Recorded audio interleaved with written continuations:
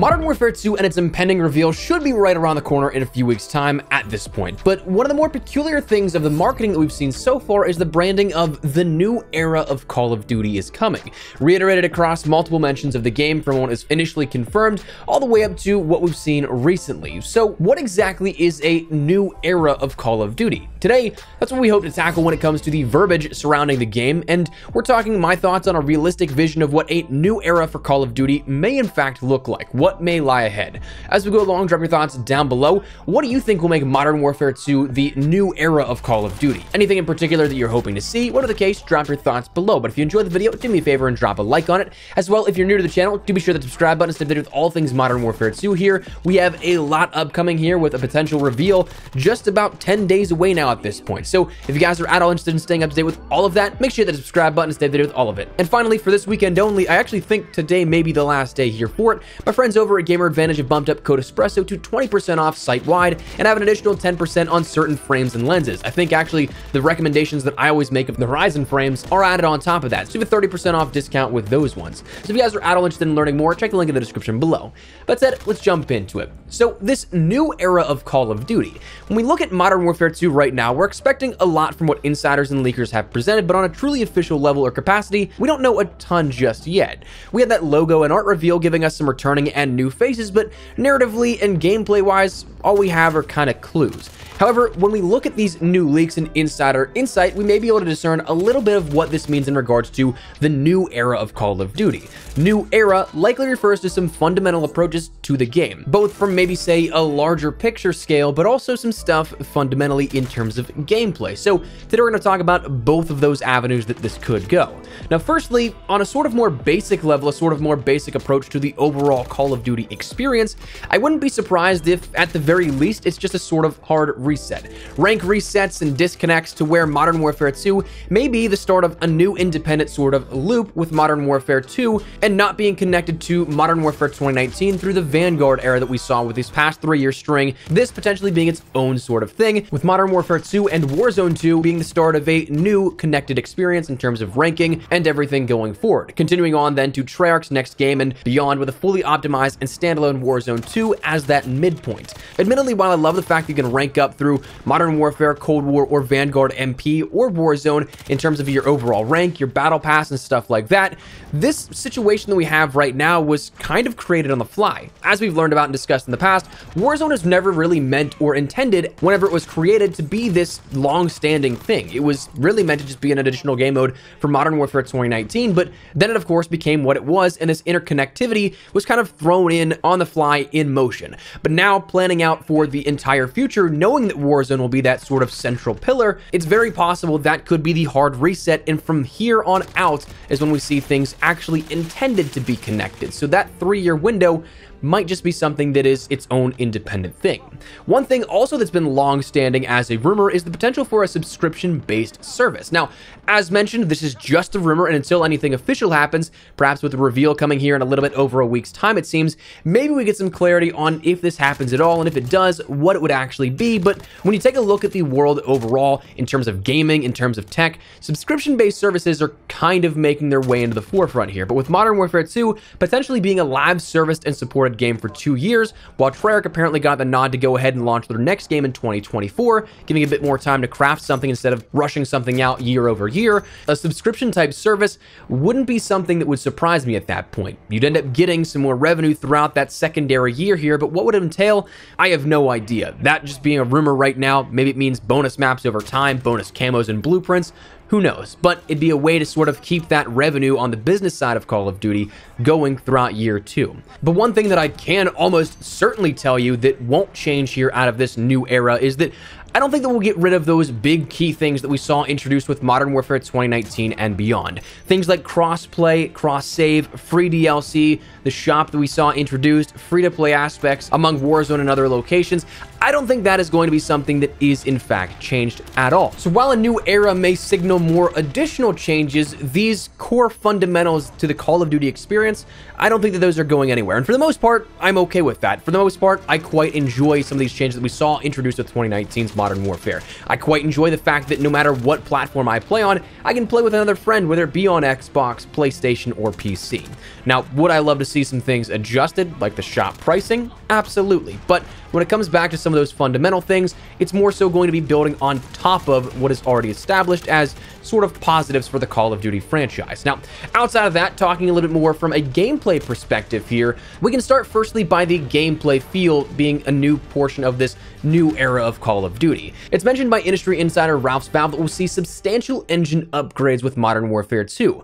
Vanguard saw some minimal upgrades in terms of the Modern Warfare 2019 engine. Cold War didn't really utilize it that much until we ended up seeing Raven introduce stuff into Warzone, but the mainline game didn't really see much. But Vanguard, we saw some water play, also seen in Warzone. The ability to mount and move was one of those things added, destructible environments to a degree.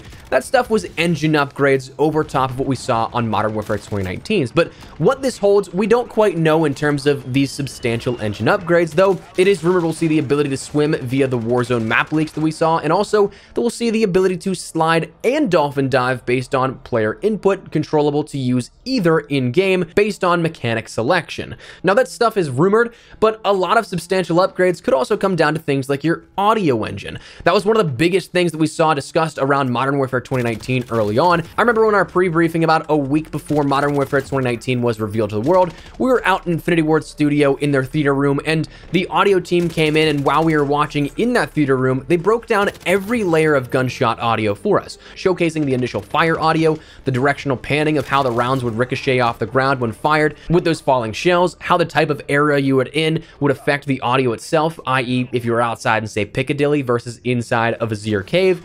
The audio engine is always a huge focal point with Infinity Ward, and with this year being a main focal point on next gen, I'd also imagine the visual aspect is majorly stressed on as well, offering major improvements to the graphical engine. Character modeling and rendering, lighting and everything, going to a much more appealing visual presentation for the game, in-game. One thing kind of adding to this and how they may be paying attention to the detail is that right now it's rumored that we'll see camo wearing, meaning that the more kills you end up getting with a weapon and a camo equipped means that you'll get a more battle-worn effect on it, which would be pretty cool.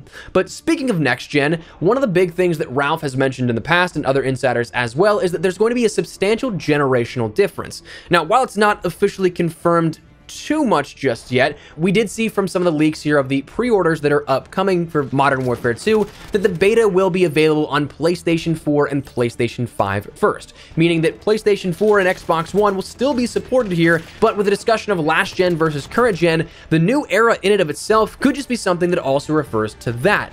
While developed with last gen in mind, the new era can easily encompass this being the first game fully built on next gen, but with a last gen port. So that could be something that is the new era as well. Additionally, from gameplay changes, we saw that skill-based matchmaking adjustments would be something that's made, or rather, retention-based matchmaking if we want to get technical and more accurate with it, where insiders have described this as less debilitating matchmaking, but that disbanding lobbies will in fact stay, but with less debilitating matchmaking, that's a positive step in the right direction, I think, where you're not going to have such strict matchmaking where you see the same 100 players over and over every single day, every single match, where your connection isn't being sacrificed in order to fit you into this sort of matchmaking bracket and other factors like that. So that also could be something that is a new era of Call of Duty, adjusting on something that the last three years has introduced as a heavy mechanic and heavy invisible hand in matchmaking that could be something that's adjusted as well. And then finally, in regards to stuff like the expansion into more content, I mean, that is something that could be the first time a new era of Call of Duty that we see as much content post-launch as we do. Modern Warfare 2, of course, having the full three-year development cycle to work on, but also being the first game that will have a two-year support window if all these rumors actually do follow true, where Activision greenlit Treyarch to go in 2024, offering an additional year in terms of development so as to alleviate any stress and to avoid any mishaps that we saw with Black Ops Cold War and Vanguard being rushed games as well. So that could be something that this just pertains to that overall, offering more content over a longer window of time.